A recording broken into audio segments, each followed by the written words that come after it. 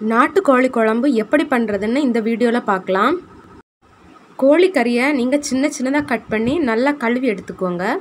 அதை ஒரு குக்கரில் போட்டுக்கோங்க. இப்போ கொஞ்சம் சின்ன வெங்காயம் எடுத்து அதை நல்லா கழுவி தோல் நீக்கி சின்ன சின்னதாக கட் பண்ணி எடுத்துக்கோங்க. அதையும் நீங்கள் குக்கரில் போட்டுக்கோங்க.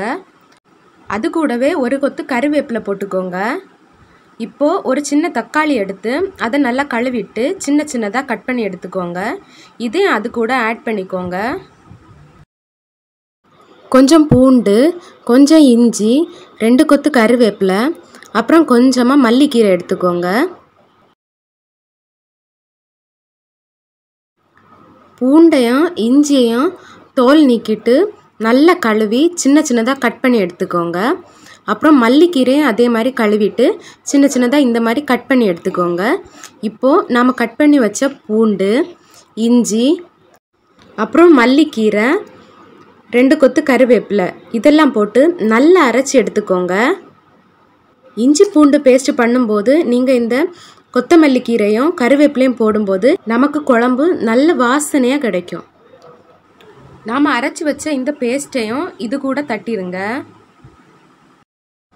தேவையான அளவு கொஞ்சம் உப்பும் கொஞ்சம் சிக்கன் மசாலாவும் ஆட் பண்ணி கொஞ்சம் தண்ணி ஊற்றி நீங்கள் குக்கரை மூடி ஸ்டவ்வில் வச்சுக்கோங்க.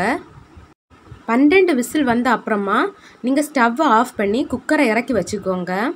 இப்போது அது கூட கொஞ்சம் மல்லிக்கீரையும் ஒரு கொத்து கருவேப்பிலையும் சேர்த்துக்கோங்க.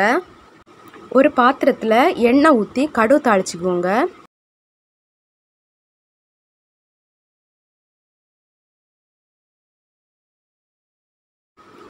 அது கூட ஒரு ஸ்பூன் வத்தல் பொடி ஆட் பண்ணிக்கோங்க. கூடவே ஒரு ஸ்பூன் மல்லிப்பொடியும் ஆட் பண்ணிக்கோங்க. இந்த மாதிரி வறுத்து எடுத்துக்கோங்க. குக்கரில் இருந்த சிக்கனை இது கூட அப்படியே தட்டிடுங்க இதை நல்லா கொதிக்க விட்டுக்கோங்க. தண்ணியெல்லாம் வற்றி கிரேவி நமக்கு ரொம்ப திக்காக கிடைக்கும். இந்த வீடியோ உங்களுக்கு பிடிச்சிருந்துன்னா லைக் பண்ணுங்கள் ஷேர் பண்ணுங்கள் மறக்காமல் சப்ஸ்கிரைப் பண்ணுங்கள் தேங்க்யூ